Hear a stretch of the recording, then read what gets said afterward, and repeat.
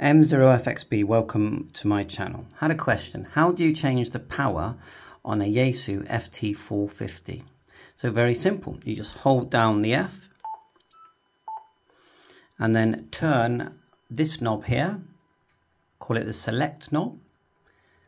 And unfortunately, there isn't actually a number, so you turn it until you see the word RF power, which you see here. Then you just push it and we're at 50. So let's, I keep mine at 10 all the time. Push it again and that should transmit power. So I hope that helped. The basics are you go up and down the bands here.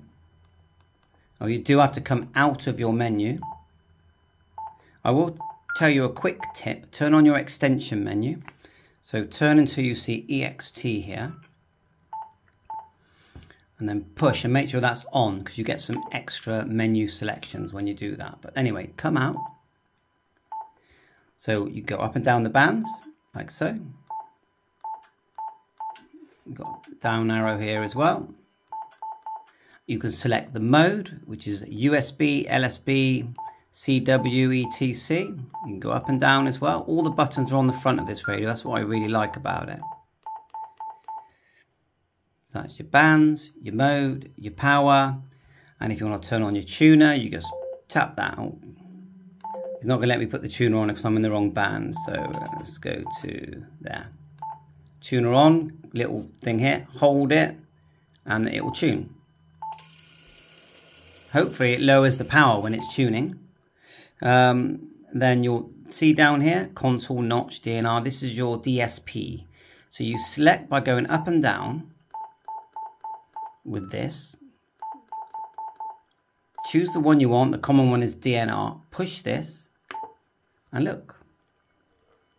And it's the same for each thing. Obviously on off here.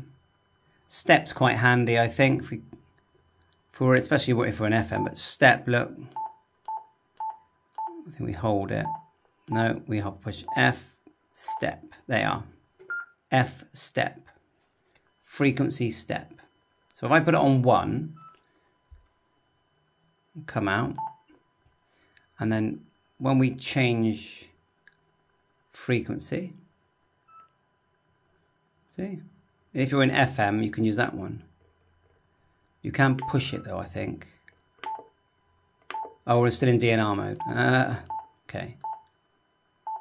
Right, back here now. Come out of menu.